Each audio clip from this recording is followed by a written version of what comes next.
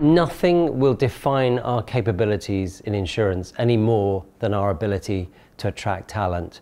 And when you think about the world that we're in today, it's a riskier world. Look at the financial metrics we're dealing with. Look at systemic risk evidenced by an industrial disease called COVID.